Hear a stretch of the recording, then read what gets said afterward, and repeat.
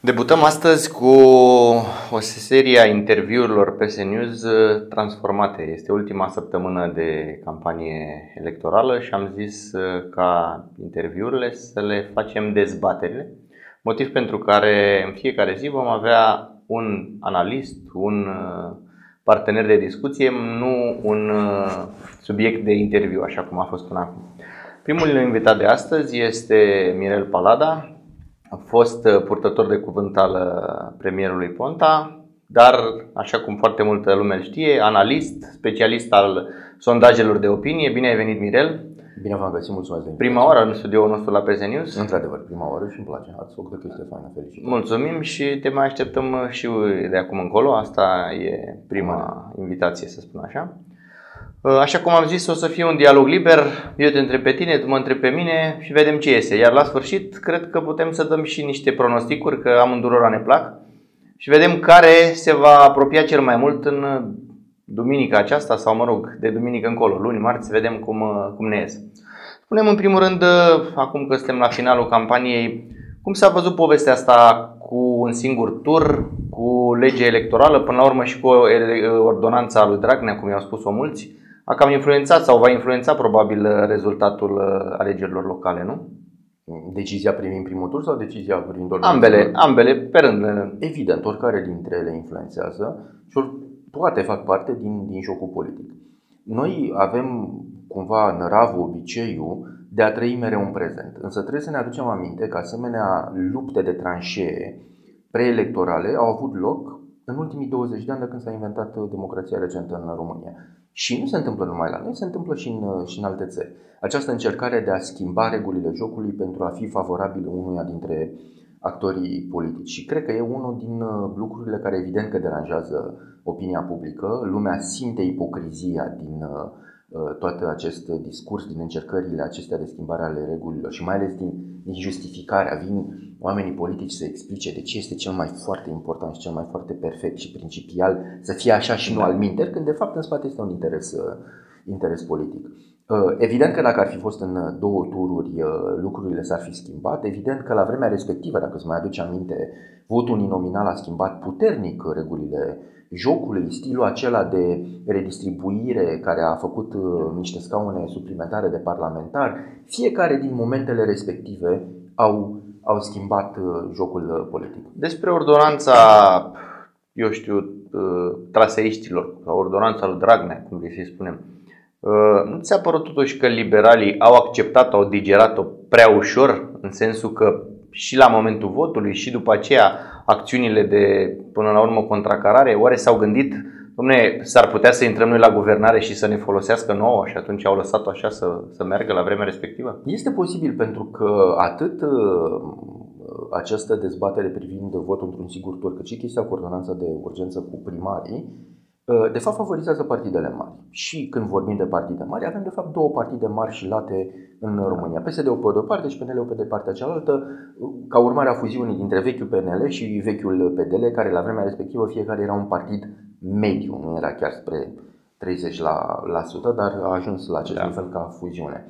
Uh, și atunci, bineînțeles că a existat această tendință, tentație a lor de a lasă așa cum a căzut, pentru că le era convenabil. E posibil să fie și uh, o altă motivație, care să meargă mână în mână, nu neapărat să exclud, faptul că liberalii știind că nu au majoritate parlamentară, nu au încercat prea mult să schimbe lucrurile astea, știind că se vor uh, lovi de o înfrângere, vor, da, vor avea o înfrângere și atunci asta va conta în meciul politic din campania electorală.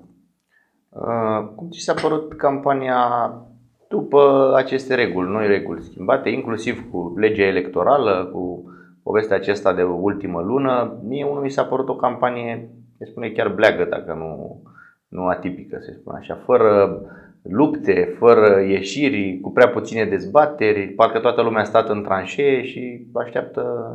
Toată lumea e de acord cu lucrul ăsta, cu faptul că am avut una din campaniile cele mai noastre. Uh, lumea, într-adevăr, pune de multe ori pe seama acestei noi legi electorale. Și, într-adevăr, așa este. Regulile sunt mult mai restrictive, de la materialele de campanie până la formatul dezbaterilor. Însă, părerea mea este că o influență mult mai mare a avut o această ofensivă DNA din ultimii ani și felul în care candidații, văzând cum există tentația de a fi selectați, așa, cherry picking, care candidat trebuie să fie în momentul de față căutat, ăla, dar care ăla, au preferat o logică de uh, retragere defensivă, precaută, pentru a nu apărea în lumina reflectoarelor. Cred că principala modificare a acestei campanii electorale a fost intervenția DNA și nu schimbarea legii electorale. Pentru că legea electorală și ce a făcut? Principalul lucru, care la fel, acum uitam pentru că suntem în mijlocul campaniei. Am mutat campania înainte. Aduți aminte cum au exact. început să apară BNR-le din ianuarie-februarie, când nu credeau sub incidența Uh, campanie electorală. Deci noi am avut această campanie electorală destul de vizibilă și în... Uh, dar nu pe final. Cum dar erau. nu pe final. Au zis, ok, nu avem voie atunci, bine, ne mutăm în partea cealaltă. S-au mutat uh, eforturile și resurse financiare și resurse de comunicare și eforturi logistice atunci, zicând, ok, după da, aia... Paradoxal este că tot ai spus tu mai devreme, s-a mutat în precampanie, dar tot în precampanie s-au, s-au întețit și eforturile DNA-ului, exact cum spui. Cum crezi că a fost pentru, până la urmă, pentru democrație, ca beneficiu, ca cum a perceput și opinia publică toată această poveste în care DNA-ul a fost cam al treilea jucător electoral, să spun așa? Onorată instanță, la această întrebare nu pot să răspund decât cu un răspuns cât se poate de conformist și să spun că lucrurile merg foarte bine în România și că este cel mai glumesc acum. Da, a fost o intervenție puternică, da, lumea începe încetul cu încetul să vadă prin uh, toate aceste eforturi de justificare, pentru că a fost un efort uh, retoric puternic din partea DNA și a susținătorilor lor care întăresc democrația, da. fac, dreg. E, lumea la un moment dat a fost ca un soi de declic. Cred că pot să și pun mâna pe acel declic când au început să-și dea seama că de fapt este tot un joc politic. Și nu vorbim acum de cei in the know, cei care știu, pentru că aceia și-au dat seama de la bun început. Vorbim de oamenii mulți care se duc după fentă de regulă. E, și momentul de dezvrăjire a fost... Olguța Vasilescu? Bingo, exact. Am gândit la fel, fără să, să, să, să se precizeze că nu ne-am vorbit, nu ne-am vorbit, efectiv exact. un moment... Multă lume și-a dat seama de chestia. Adică, ok, îl ia pe ăla, e un corupt, e un nenorocit, îl ia pe ăla, e un corupt, e un nenorocit. În continuare mergea retorica de nea. Îl ia pe ăla, e un corupt, e un nenorocit. O ia pe asta, ce frate cu ea, că asta nu mai făcut nimic. A, păi înseamnă că poate au dreptate aia care zic că de fapt e doar un joc politic, atunci da. nu mai avem atât de multă încredere în retorica DNA și atunci lumea începe să se gândească retrospectiv și la toate celelalte care până atunci credeau, da, e un nenorocit, e un nemernic, să zică, bă, dar nu cumva și la ea a fost Da, ai sesizat că parcă din momentul la motoarele DNA da. n-au mai fost la fel exact. de durate? Exact. Exact. Adică cred că și ei au înțeles că s-a greșit acolo. Da, au, au apăsat foarte tare pe pedală, au forjat motorul și motorul s-a desegmentat. Nu s-a mai marșat nici pe arestul preventiv, nici exact. ai las-o exact. așa că... Pentru că una din marile întrebări ale acestei campanii, văzând care este această intervenție în forța DNA, era când o arestează pe Firea sau când o arestează pe Pandele. Da. Pentru că stă bine în sondaje, stă bine în sondaje, stă bine în sondaje. Mai... Și veneau oamenii și ziceau, bă, potuliți-vă cu sondajele alea că îi arestați. De ce? Păi voi, de cauza voastră, voi cu sondajele voastre îi faceți pe ăștia strălucitați și da. le puneți cap cintă cruce. Dincolo de chestia asta, era destul de plauzibil ca la un moment dat, văzând că lucrurile nu stau așa cum dorește tabăra anti-PSD, pro-DNA, pro-democrație occidentală, etc., etc., etc. Vorbim acum de retorica de campanie, pentru că, de fapt, toate partidele sunt da. puternic ancorate în această logică pro-occidentală, dar e o retorică electorală care zice ăia care vând țara la ruși de la chinezi. Știi foarte bine. Uh, ei, toată lumea se aștepta ca la un moment dat să se întâmple o asemenea chestie. Că da. prea stătea bine în sondaj. Cred că, la un moment dat, declicul a fost datorită lui Olguța Vasilescu și au zis, băi, e foarte probabil să o victimizăm și mai mult. Acum deja e prea târziu. Mai avem o săptămână, dacă o arestează acum fie pe ea, fie pe pandele, cu atât mai pe față și mai uh, strigător la cer uh, ar fi uh, acțiunea lor, dar la un moment dat se discuta în mediile avizate despre această posibilitate.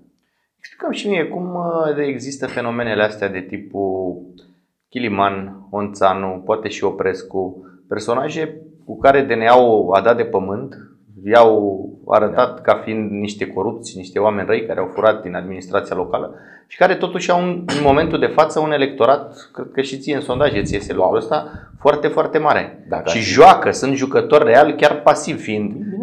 Ba unii chiar activi. Uite, Maria Evanghelie se încăpățânează să, să și mai sunt și prin provincie, mai sunt vreo Și și prin trei care la fel calcă pe care. Cam, care e explicația sociologică? De ce oamenii merg încol- încolonați în spatele acestor oameni? Nu, nu, nu. Adevărata întrebare este cum de putem să explicăm o, două lucruri aparent contradictorii, în conflict. Pe de o parte, lumea este total de acord cu lupta anticorupție. DNA-ul Corect. este la maxime istorice, toată lumea o iubește pe codruța, e o nebunie. Și chiar Da. așa este, da? Lumea vrea sânge, sânge, sânge, sânge, pentru că o perioadă multă de timp s-a considerat că uh, cei care au uh, făcut acte de corupție n-au, uh, n-au fost pedepsiți. S-a rupt la un moment dat filmul cu Adrian Stase și de acolo s-a dat drumul la, Da. la val. Pe de altă parte, oamenii îi iubesc pe corupții lor. Deci ei zic, da, să fie corupție, dar nu cu al meu. Ideea e următoarea. Opinia publică, mintea omului, nu este 100% logică. Tu, eu, fiecare dintre noi, milioanele de oameni din jurul nostru, nu sunt, de cele mai multe ori, nu sunt coerenți în logica și în, în acțiunile lor. Și nu o spun Da, pentru a judeca, pentru a zice că românii sunt proști. Pentru că și americanii fac la fel, și francezii fac la fel. Este o chestie de natura umană. Deci te-aș întrerupe și te-aș nuanța că și viziunea mea e tot în felul următor. Eu cred că oamenii dintr-un anumit sector sau electoratul dintr-un anumit sector, oamenilor le este greu să recunoască că au luat țeapă. Exact. Adică al nostru Exact. e și ne-a înșelat și al nostru. Exact. Și atunci, zic, domnule, o fie ori zice ăștia că e corupt, dar noi, noi nu Asta- cred că am greșit. pe Asta el. este pe de o parte. Deci- și, da, este un uh, fenomen psihologic cât se poate de, uh, de simplu. De, se numește rezolvarea disonanței cognitive. Domnule, dacă am votat cu ăsta, cu Băsescu, cu Iohannis, cu Ponta, cu Chiliman, păi înseamnă că ar trebui să recunosc că eu am greșit. Pe de altă parte, mai este încă un lucru. Ai investit foarte multă emoție în el. Când ai votat cu Băsescu, cu Chiliman, cu Scripcaru, cu uh, Vanghelie, indiferent de ce tabără politică este, ai investit o bucățică din tine în, în el. O bucățică mică, mică prin acțiunea ta. La fel ca atunci când te duci la fotbal și ții cu echipa României sau cu Dinamo sau cu cine vrei tu să ții și ea joacă prost, îți vine destul de greu să înjuri pentru că ții la ei. Și ruptura emoțională se produce greu de tot și cu suferință. La fel și în cazul ăsta. Și atunci oamenii tind să spună așa, vreau anticorupție, da, pentru că ei au fost foarte mult alimentați cu această retorică, Da. trecere după fentă, pentru că e peste tot chestia asta, depinde cum o articulezi, cum o folosești în, în discursul politic, dar pe de altă parte zic, bă, ăsta e al meu. Ce aveți frate cu el? Că îmi place de el, am votat cu el, face cât de cât, pentru că primăriile au avut în general fonduri din ce în ce mai mari odată cu creșterea economică și era destul de greu să faci tâmpenii remarcabile. Au fost și unii care n-au știut să gestioneze și s-au văzut. Sectorul 6, de exemplu. Dar 80-90% din primarii care au avut un buget decent, acceptabil pe mână, și asta este specific orașelor mari, au făcut o treabă decentă, acceptabilă. Nu mai vorbesc de sectorul 1 care are buget cât cel mai Capitala, cât toată capi- Da, este cel mai uh, uh, bogat, Bogat. oraș al României. Și atunci cum să nu se întâmple chestii faine acolo? Bineînțeles că atunci îl iubești pe Chiliman pentru că a avut bani la dispoziție. Uh, și aici intervine acest fenomen de, de uh, dependență emoțională. Te atașezi și îți vine mult, mult mai greu să, să te rupi. Americanii, pentru că și în America se întâmplă lucrul ăsta, cu asemenea discrepanțe, pe de o parte oamenii sunt de acord cu un fenomen, dar nu la ei. Se numește not in my backyard. Înțeleg. De exemplu, uh, gazele de șist. Americanii sunt totalmente de acord cu gazele de șist, dar sunt foarte multe comunități care zic, da, sunt de acord cu gazele de șist sau cu, Dar nu cu la energia mine. atomică, dar nu la mine în comunitate. Sunteți de acord cu centralele atomice? Cum să nu? Foarte bune. Uh, Independență energetică nemai pomenit. Vreți uh, una aceea în orașul noastră, că aduce locuri de muncă? Oh, Doamne ferește! Mutați dracul la 300 de kilometri de aici. E cam la fel și aici. Nu încurte la mine. Ce frate cu ăsta? De ce l arestezi? Da? Că e bun, e al meu. Da. Mă gândeam acum să facem o scurtă analiză și a partidelor politice, măcar a celor mari. Uh, PNL-ul mie îmi pare mort în păpușoi, așa stă și așteaptă ceva. PSD-ul și el știe că este în forță, știe că s-ar putea să aibă un rezultat bun, dar parcă prin faptul că liderii au fost un pic loviți și penal și din multe puncte de vedere, tot așa stă în expectativă. Ție cum ți se par partidele politice în momentul ăsta? lipsite de lideri în primul și în primul rând. Este o cenușizare a vieții politice neplăcută, mai ales pentru noi cei care trăim din faptul că viața politică ar trebui să fie gustoasă. Stăteam de vorbă și mai înainte și spuneam că noi în momentul de față trecem printr-o perioadă în care ne lovește karma. 20 de ani de zile de când s-a inventat democrația în România, 25 de ani de zile, au fost foarte multe voci care au deplâns faptul că avem de-a face cu personaje prea gustoase în, în viața politică românească. Că a fost Vadim, că a fost Becali, că a fost Băsescu, uh, am avut tot soiul de intenși, Dan Diaconescu, uh, fiecare pe persoană fizică, Vanghelie. Personaje, da. Personaje. Personaje gustoase și în bine și în rău, uh, care îți rămâneau cumva în minte, spuneau chestii remarcabile, fie în bine, fie în rău. Uh, și lumea nu era de acord cu acest tip de politică foarte personalizată, carismatică și isterică. Ei bine, în momentul de față, încetul cu încetul, tocmai avem de-a face cu o dezisterizare a vieții politice în România și descoperim că nu ne place. Mi se pare chestia noastră. Da, crezi că mai au șanse liderii totuși să revină și să, uh, eu știu, să, devină, să redevină locomotive, cum era Traian Băsescu? Și apropo, Traian Băsescu ce se mai întâmplă? Cum mai stă în, în viziunea Traian Băsescu este undeva într-o zonă de 12-15% la nivel național, ca nivel de încredere. Partidul lui este foarte probabil să treacă pragul electoral ăsta de 5% acum la alegerile locale, în consecință și în alegerile parlamentare. Are în continuare un nucleu bine definit de ghilimele talibani ai uh, lui care îl acceptă, îl îmbrățișează fără niciun fel de critică Uh, cum se întâmplă și cu Monica Macovei, care are și talibanii lui, cum s-a întâmplat la vremea respectivă, nu uitați, cu un alt președinte al, al României, Ion Iliescu, care a avut o bucată mare de societate care l-a contestat, dar și o altă bucată care a mers cu el până în pânzele albe. La fel se întâmplă și acum cu Traian Băsescu. S-a erodat puternic, pentru foarte mulți uh, nu mai este frecventabil, palatabil, dar în continuare are o gardă care moare, dar nu se, nu se prede. E un Napoleon mic de Mucava al zilelor noastre. Dacă totuși fiecare are nucleul lui, mai gândeam la lideri, uite, Călim Popescu, Tăricianu și de ce oare la alegerile astea locale n-am văzut și lideri din aceștia candidând? Toți au rămas pe margine și și-au împins niște copii de suflet, niște oameni mai puțin notorii, de frică oare? Să fie tot de frica de neaului? E posibil să fie și o combinație de, de frică, dar este și o combinație de uh, strategie intervine aici. Pentru că, să nu uităm, avem alegerile parlamentare în curând. Și dacă ei se definesc la zona alegerilor locale, cumva se plafonează într-o zonă tactică. Se smulg din zona strategică a politicii românești. Traian Băsescu la vremea respectivă a început prin a fi primar, dar pe urmă a devenit lider uh, național. Acum e mult mai greu ca lider național să te cobori înapoi înspre zona de lider local care să aibă de face Vrei să mă întreb cu... ceva? Te rog, te-am întrerupt. Ai zis că vei vrea să mă întreb ceva când te-am, te-am uh, spus despre lideri. Nu mai știu. Da, da, fine. Spune-mă, te întreb tot eu atunci. Spune-mi, ce crezi că șanse mai are Victor Ponta să reintre în, în cărți, să spunem așa? onorată instanță la această întrebare nu pot. Știu, știu, știu, știu că e, e subiectiv, dar din punctul tău de vedere cum o vezi? Are șanse. Are șanse foarte mari, lumea îl iubește în continuare. Este un soi de regele Arthur, ăla care, nu știu dacă știți mitul, mm-hmm. cel cu regele Arthur, da. mort sub uh, deal și lumea așteaptă să, uh, să învie. Uh, are mult potențial electoral. În momentul de față are această frână a dosarului. Uh, trebuie să-și rezolve probleme astea. Trebuie să-și rezolve această problemă. Această frână, evident că este folosită de manieră foarte inventivă și inteligentă de către cei care nu-l doresc pe Ponta înapoi în, în politică. Eu am experiența călării, am învățat de ceva timp să călăresc și știu cât de bine funcționează zăbala la cal și frâu și cum dândărlogi tragi, uite așa, îl joci în gură cal, înțelegi? E, dosarul lui Ponta este o chestie de, de, de zăbală care îl, îl deranjează și îl, îl ține din, din acțiune.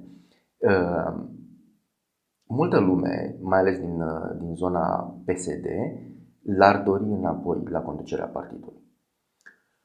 Uh, el a dat semnale când pozitive, când negative, joacă. Joacă la așteptare în momentul de față, așteaptă să treacă alegerile locale. Ați văzut că s-a implicat în, în campanie, deși unele voci spuneau că nu se va implica sau că se va duce la alt partid. A dovedit și a dovedit fidelitatea față de partid, are un potențial, dar uh, întotdeauna există meteoriți și alți actori quasi-politici care pot să te ia cap țintă cruce piept și să... Hai să trecem la partea cea mai interesantă, asta cu pronosticul tău pentru alegerile astea locale. La București, pe sectoare și pe capitală, ce se întâmplă? Trebuie și pe urmă trebuie să discutăm și la nivel național, pentru că asta este da, o configurare. tocmai. Începem la București, că la București este de ora exactă, sau cel puțin așa spunem noi, da, de la București. De, de, de departe este cea mai vizibilă și prefigurează ce se va întâmpla în, uh, în toamnă și de asemenea este comunitatea cu resursele cele mai mari. Deci, Gabi Firea, Predoiu, Nicu Jordan, ce... Gabi Firea, Predoiu, Nicu Jordan, în momentul de față Gabi Firea stă foarte bine în sondaje și uh, există o preocupare din partea taberei anti-PSD, pentru că cei din zona de dreapta nu au altă ideologie decât anti-PSD, altceva nu știu în momentul de față. De manieră explicită, Predoiu a spus că noi trebuie să facem totul să ne iasă PSD. Bravo, Gogol. Uh, și părerea mea este că și chiar dacă în această săptămână vor reuși să bată palma și să rămână unul din doi, va fi prea târziu.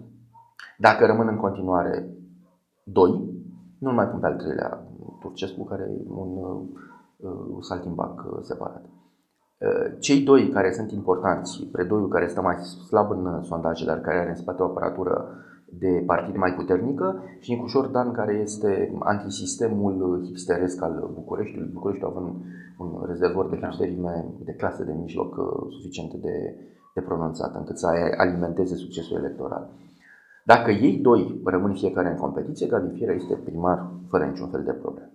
Dacă ei doi cad cumva la pace, aceste discuții care deja încep să se da, prefigureze. Da, e, e foarte interesant, e pregnant în spațiul public scenariul ăsta, dar cum ar putea să mai cadă la pace, Asta, ei fiind pe listele electorale și dacă, mea. Doamne ferește, moare unul dintre ei? Asta este fix Adică se încearcă, am văzut și, și Predoiu zilele trecute la emisiuni, da. lansa da. invitații la alt, ultimă sondare a opiniei publice, să se retragă unul, să celălalt. Știi cum se numește? Ei vor fi acolo pe liste. Mintea română da. cea de pe urmă. Da. Dacă vreau să facă chestia asta, trebuiau să aibă încredere în sondaje acum 400 de ani, exact. acum 40 de zile, acum 70 de zile, pentru că lucrurile se vedeau da. crystal clear de la începutul anului. PSD-ul stă bine, ei la stau prost. N-au crezut în sondaje. Acum, într-o dată, s-au trezit ca au încredere în sondaje. În altă instanță, hmm. fuck off. da. um, și atunci, și chiar dacă cad la pace, cumva, să zicem, in extremis, în al 13-lea ceas, mai sunt 5 zile pentru numele lui Dumnezeu, tot e prea târziu, din două motive. Pe de o parte este acest, uh, această dificultate procedurală. Sunt pe buletin și cu siguranță se vor găsi niște votanți întârziați care să nu știe că și-au căzut la pace. Și să voteze, băi, eu știu că o să candideze Nicu Jordan sau candidează Bertoi, depinde care să retrage din ei. Pe de altă parte, în politică 1 plus 1 nu dă 2. 1 plus 1 dă cât vor ei. Uneori dă 3, genul SL, uneori dă fâs, gen PNL în momentul de față când s-au pus voturile PNL-ului și ale PDL-ului și au ieșit tot voturile PNL-ului, până la urmă, da. a fost o contracție. Și atunci, cu siguranță, în aceste două nuclee diferite, două patine de votanți, al lui Predoiu și al lui Nicu Șordan, vor fi unii care să zică, bă, nu suport pe ăsta, este un papagal. Pe dos, vor fi din ăștia care zică, bă, nu suport pe ăsta, e un papagal. Și nu vor vota. Și atunci 1 plus 1 vor face uite așa. Aproape 1 și un pic. Și același rezultat va fi, Gabi Fiera va fi primar. Repet, singura soluție, onorată instanță, este să o aresteze pe Fiera sau măcar pe Pandele. De e prea târziu. Trebuie să se gândească la chestia asta mai devreme. Deci pronosticul tău la capitală este clar, Gabriela Firea da, nou primar. Indiferent de strategiile de disperare de al 13 la ceas pe care le vor concocta pufoșii. Bun, păi atunci hai să facem o scurtă radiografie și a sectoarelor înainte să ne mutăm pe țară să vedem uh, cum uh, vezi tu lucrurile acolo. Da. La sectorul 1, la sectorul 1 foarte probabil să câștige Tudorache. În felul în care se așează lucrurile, vom avea de face cu surpriză, care nu mai e surpriză, că v-am spus aici în exclusivitate, doamnelor și domnilor și onorată instanță. Uh, lumea definește de manieră stereotipă sectorul 1 ca fiind liberal, anti-PSD, zi cum, cum îi vede dreapta. E, se pare că s-a modificat schimbarea și că orice lucru are un sfârșit și un început și este foarte posibil ca în momentul de față sectorul 1 să aibă primul primar non-PNL, PSD, corupt, care vinde țara la ruși la chinezi. Zi tu cum vrei. E, uite aici eu te contrazic, pronosticul meu e, e invers. Eu cred că uh, Alexandru Nazare va mai putea încă trezi spiritul al uh, votanților lui Chiliman. Da, să vedem. Vedem. Am auzit că în momentul de față Chiliman îl îl susține, va fi o luptă interesantă. Mi se pare cea mai, mi se pare cea mai strânsă. Scoatem, scoatem șervețelul și scriem. Da. Cea mai strânsă este la sectorul 2. Așa, deci tu ai zis uh, Da, Tudorache, eu am zis Nazare la 1. La sectorul 2? La sectorul 2 este un joc, în general, la sectoare avem fie unul singur care rupe, fie un joc în doi. Uh, La sectorul 2 este singurul joc în 3. Singurul, da, e singurul joc în 3. Pentru că toți trei stau destul de bine. Avem, pe de o parte, un, uh, cum îl cheamă, un pelican independent care vine din spate și e pe tren crescător și este în momentul de față primul pe, uh, în ierarhie, în uh, sondaje, dar care evident are acest handicap al independentului să nu fie cumva mâncat de cele două organizații.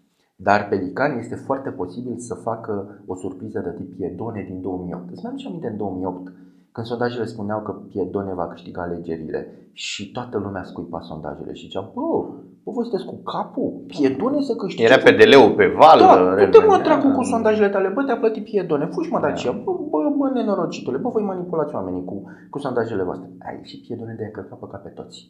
Da? Corect. A mai venit pe urmă cineva să zică, bă, sondajele spuneau că Piedone să câștige. Nimeni. Așa încât, dragii mei, fuck off.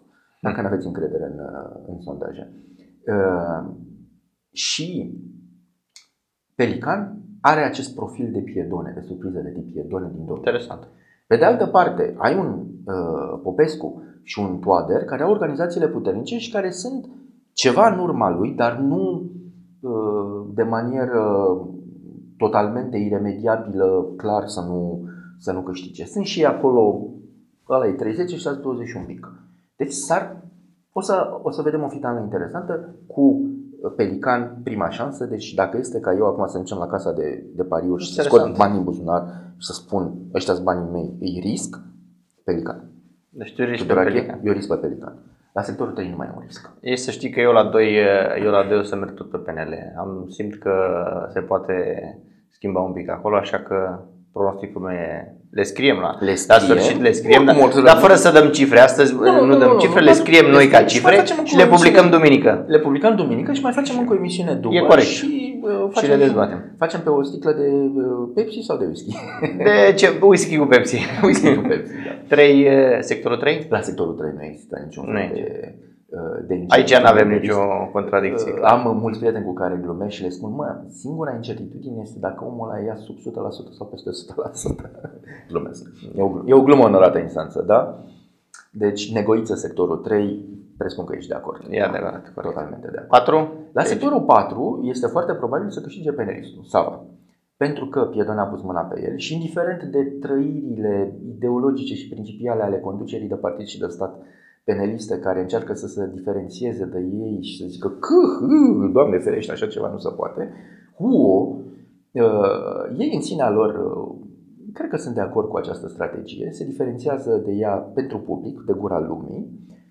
Uh, Piedone, dacă pune mâna pe operatorul de cameră sau pe femeia de servici sau pe cățelul care este la poartă și zice votați acest cățel, lumea o să voteze acest cățel, pentru că lumea are foarte mare încredere în Piedone, Lumea este foarte dezamăgită de faptul că Piedone a fost scos din, uh, din uh, campania electorală pe niște principii absolut strigătoare la cer. Da. Are bască, nu are bască. N-are bască, sau are bască, dar nu e cu moț. E cu moț, dar nu e moțul mov, e violet. Și cum te-a scăpat PSD-ul din mână așa minunăție? Acolo, de, din punct de vedere al votului, incredibil. Politic, nici eu, nici eu nu-mi dau seama.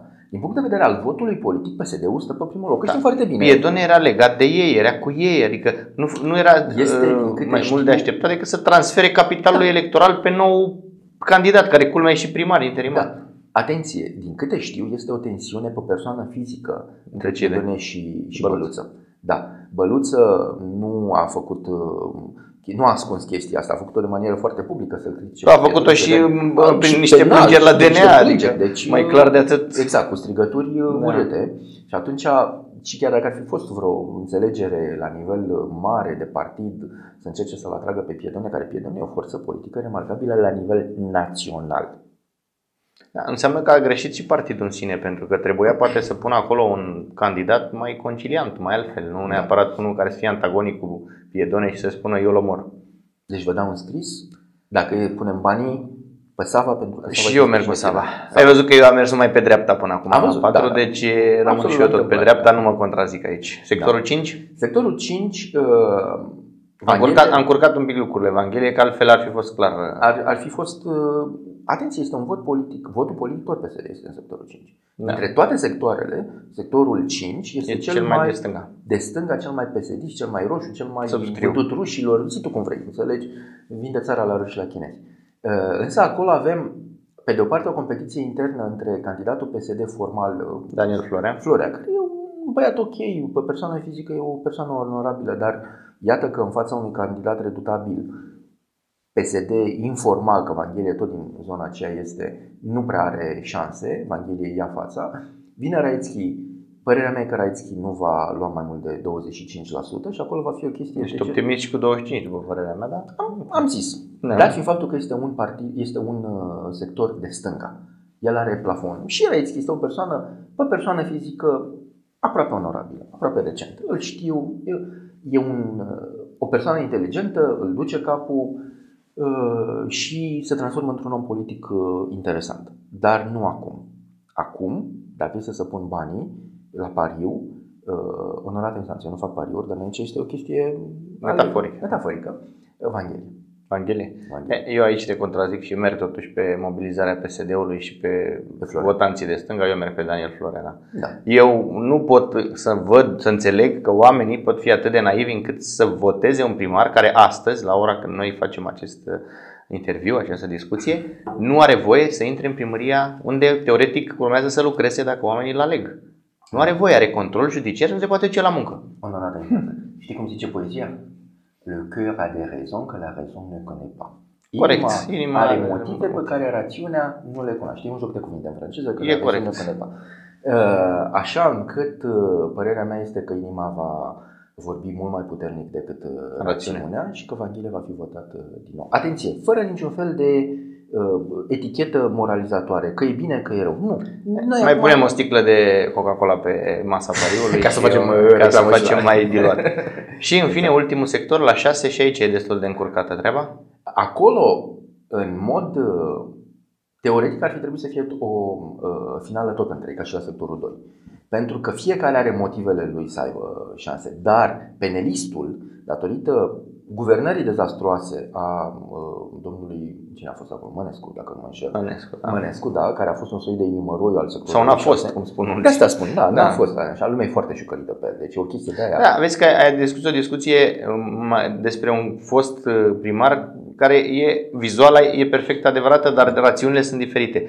Inimăroiu n-a făcut pentru că nu l-au lăsat consilierii PDL care erau în luptă cu el și care au zis, domnule, hai să facă ăsta proiectele la cheie, Da. că venim noi și le luăm. Și a venit Piedone A venit Piedone și le-a luat și- el la cheie și le-a făcut din secunda lui. De aia a fost și așa iubit. Onorată Din coace, instanță. Mănescu a avut tot. Și Consiliu, Și- și, și și bani, majoritate, și da. bani, și susținere. Și Și... acum, onorată instanță, nu contește.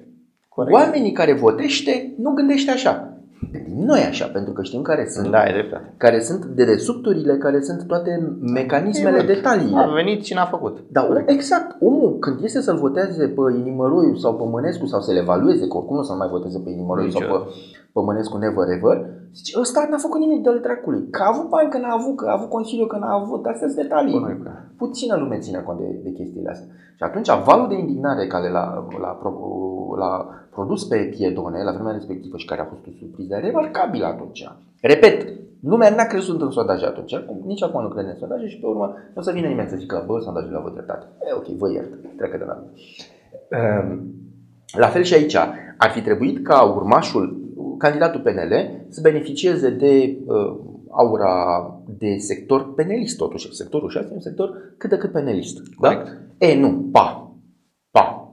Dacă ia 15%, e PNL-ul mort. e mort. E mort acolo. Corect. Și nu eu judecă zic că la e fel. om bun sau că e om brom, că e candidat, că e om politic. Nu. Deci rămâne la Mutu versus Florescu. Mutu versus Florescu și uh, Mutu are the upper hand. Și uh, datorită faptului că are un tren crescător și datorită faptului că are o organizație în spate. Deci de nici aici parte, nu avem viziuni diferite și eu cred că va câștiga. pe de altă parte, atenție, a nu se subestima Florescu, pentru că și Florescu are un soi de uh, motor emoțional în spate de tip Piedone. Șucărul, indignarea de tip Piedone, la adresa sistemului care a produs niște primari uh, mămăruță și Florescu o să ia un scor pe care lumea nu se așteaptă. vă dau un scris. Deci este o finală și acolo în 2, dar dacă este să pun banii pe cineva, Pe mutu. pe mutu. Deci da. nici aici nu avem viziuni diferite și eu cred că va câștiga da. mutu. Și în primul rând pentru că Florescu nu are o logistică de partid în spate Exact. uh, și chiar dacă merge pe o latură de asta sentimentală, ba mai mult și una socială, pentru că construiește de mulți ani acolo Da, Știu, în știu, sector, știu, știu, da. cred că totuși fără un partid uh, e, e greu. S-a cam dus momentul independentului. Nu știu. Vedem. Nu știu, asta vedem. Uh, Mă rog, Florescu are și uh, un uh, profil bine definit din punct de vedere vizual, retoric, care s-ar putea să nu cadreze atât de mult cu o anumită parte a sectorului 6, care totuși se consideră un sector spălat, uh, mai, uh, mai elit. Aduce aminte pe vremuri se discuta de drumul taberei, sectorul 6, care este cel mai foarte perfect uh, Da. și așa. Acum s-a mutat în sectorul 3, înțelegi? Da, e corect. Cum stăm la nivel de țară? PSD-ul bate tot? Va închide meciul lejer? Nu, nu, nu, nu va fi o chestie de aia cocoșătoare, nu va fi landslide. Noi am avut în România două landslide-uri. Am Da. avut la început în anii 90 cu Iliescu. Și când- schimbarea așa, și cu PSD-ului USL-ul, cu și cu USL-ul. USL-ul. Când a fost landslide, a fost peste 50%. Vă mai aduceți aminte când lumea zicea că USL-ul nu se ia 50%? Noi spuneam în sondaje că se ia 60%. În arată instanță, pufoșilor, fraierilor, voi, la tine mă refer, la care nu crezi în sondaj. Uh, și erau uh, vestiți analiști politici care spuneau că USL-ul o să ia 37-38, Sebastian Lăzăru cu subiect și predicat, care încerca să oprească această catastrofă pentru ei la vremea respectivă, să delegitimeze uh, sondajele. Nu, no, ăia mint cu sondajele, 50 și 60%. Ne spuneam, o să ia 60% sau 60%. Uh, pe țară, PSD-ul va lua locul întâi. Uh, Nu cred că va lua 40%, deși în momentul de față este spre 40% în sondaje, însă uh, sondajele nu reușesc să vadă efectul de coadă, de distribuție reziduală a multor partide mici pe care le vom vedea în, în, uh, în toată țara și care, dat fiind faptul că sondajele ca un soi de sită cu anumite găuri date de marja de eroare, cu cât vrei să ai sita mai fină, cu atât trebuie să ai uh, eșantion mai mare, deci resurse mai mari. Ei, ai o anumită dimensiune la sită și pietricelele mici, mici, mici de tot, care sunt partidele mici, candidații mici, îți cad printre găuri. Și atunci le subestimezi în, în uh, sondaj și trebuie să ții cont de, de lucrul ăsta. Și atunci uh, PSD-ul va fi pe primul loc sub 40%, 35-37, că zice că nu dăm cifre, dar probabil pe acolo. Da. Uh, PNL-ul este foarte probabil să ia 30%, uh, deși se cam va face un pic de râs. Pentru că lumea uh, va lua 30% chinuit. S-ar putea să ia un 28-29 să-și dea cu tabla în cap. Ești optimist totuși pentru ei. Unii au făcut scenarii mai sumbre pentru PNL. Atenție! Uh, N-a mai fost de mult această puternică separare, așa cum este acum, Stânga cu dreapta. nu, Transilvania și Regat. Da. Da? Care a fost în 2000, a fost în 96. Corect. Pe parcursul unor 10 ani de zile lucrurile s-au mai așezat un pic. Uh, ei bine, în momentul de față văd din nou o apariție, o resurgescență a acestui tip de, de discurs noi, care ținem cu pieptul Carpații ca să nu fim cuceriți de ruși, de chinezi, de nasoi, de roșii, comuniștii, pesediști, noi, frunșa țării, Ardealul, Ardealul, așa și noi votăm cu PDL-ul și cu Băsescu și cu Boc și cu Iohannis și e bun, bun, fac mișto de voi, ca să înțelegeți. Uh, și în consecință va fi un vot penalist destul de bine definit, iar pe partea elaltă roșii, comuniștii, rușii, chinezii, nenorociții, moldovenii, muntenii, răgățenii, uh, balcanicii, turcii, turcaleții, toate stereotipurile depreciative la adresa celor de dincolo de Carpați, care vor vota mai degrabă cu, cu PSD-ul. Și aici vei vedea o mare roșie, acolo vei vedea mai degrabă albastru și pe ansamblu se va mai scoate PNL un pic cu Ardeal, ultima redută în fața invaziei tătare, uite-te aici la mine, înțelegi? Uh, PSD-istă care cucerește țara. Mirel, îți mulțumesc, te aștept după alegeri să tragem concluziile și, cum am spus, le promitem celor care ne urmăresc, vom avea o hârtie cu niște cifre Da? pe care o vom publica duminică și vedem cine ia sticlele de Pepsi, nu? Cu mare plăcere. Părerea mea e că poți să încep să le cumperi de pe acum. Eu mă pregătesc oricum, pentru că mai ales că în fiecare zi voi avea câte un invitat și dacă voi pierde la toți va fi un dezastru, așa că Dacă e o să Pepsi, încerc atunci- să limitez uh, Acum, înainte să proporțiile. închidem camera, singura întrebare este dacă vom fi uh, vom avea succes la predicție la unele și vom greși la altele, ce facem? Legea compensării, ce să Venim facem? fiecare cu Exact. câte o sticlă. da? Mulțumesc. Îți mulțumesc și eu. Cu mare drag, plăcere bună.